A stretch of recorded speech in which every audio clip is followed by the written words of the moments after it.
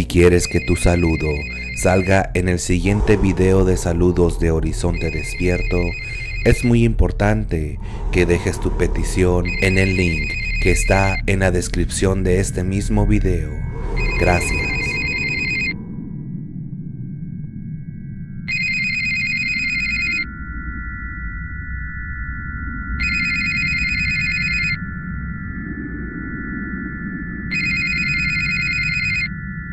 José es despertado en su día de descanso. Su teléfono suena sin cesar. José contesta y una voz quebrada le dice que necesitan de su presencia en el centro comercial lo más antes posible. José, impresionado, le pregunta qué pasa, pero la otra voz solo le dice, necesitas ver esto con tus propios ojos, no lo vas a creer.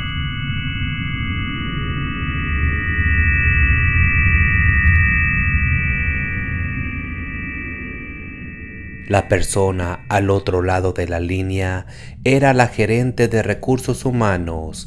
Esta le suplica que venga pronto, petición que este guardia de medianoche acata de inmediato.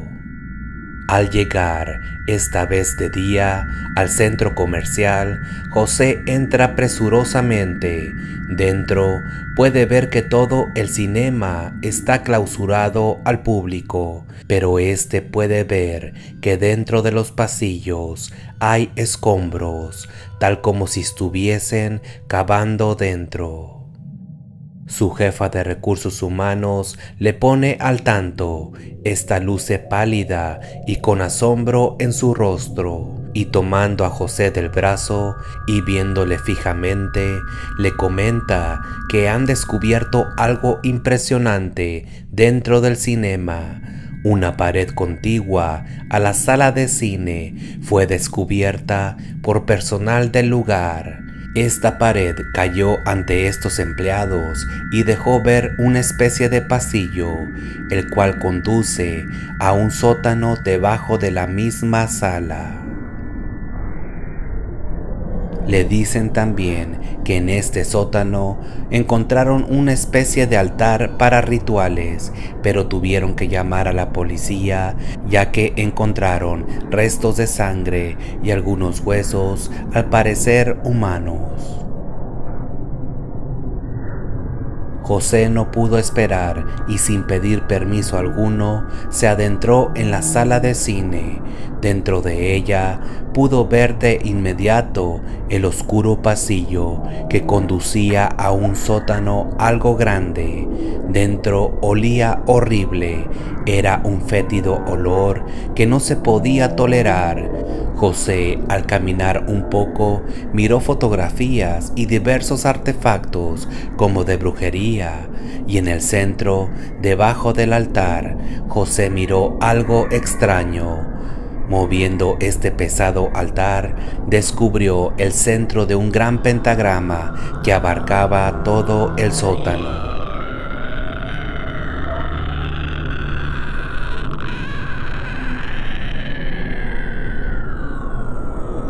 Esto dejó helado a José.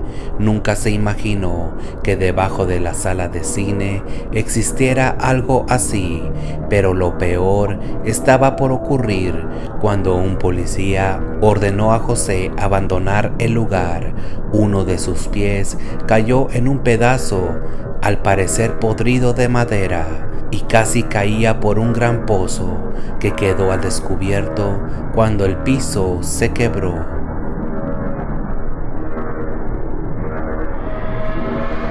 Todos quedaron atónitos cuando al ver al fondo de este gran pozo unos ruidos espantosos parecían subir desde el fondo. Fue cuando José les dijo a todos que ese era el mismo infierno, por lo cual salieron rápidamente de este sótano. Todos salieron huyendo del lugar. Inmediatamente el centro comercial fue desalojado ante el enojo de los ejecutivos y dueños del mismo. Ya estando afuera, todos fueron testigos como de una sola vez todos los cristales y ventanas del lugar explotaron, dejando el centro comercial inaccesible.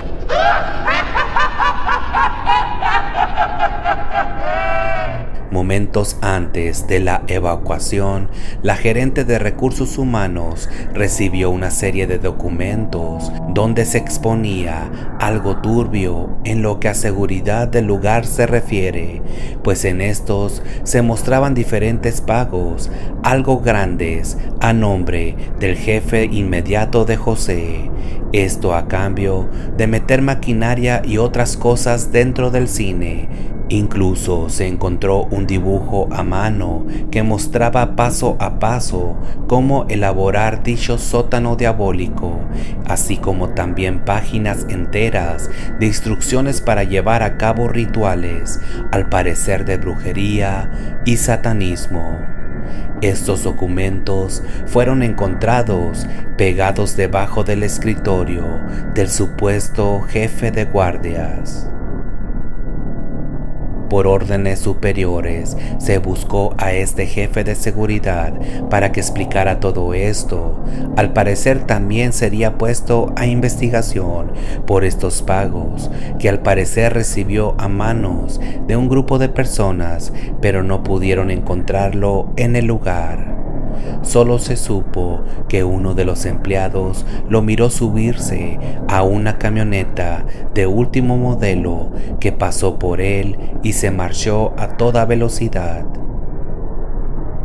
Sin saber qué hacer, los directivos y encargados esperan que esto se resuelva, pero debido al gran peligro que este centro comercial representa ahora para los clientes, fue oficialmente clausurado hasta nuevo aviso por las autoridades.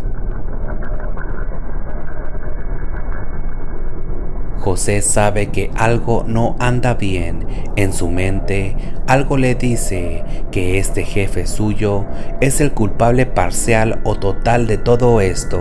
Al parecer, seducido por el dinero, aceptó tratos prohibidos, dejando que un grupo de personas con mucho poder construyeran este sótano diabólico para abrir alguna especie de puerta que dejase salir a los demonios a los cuales estos adoran.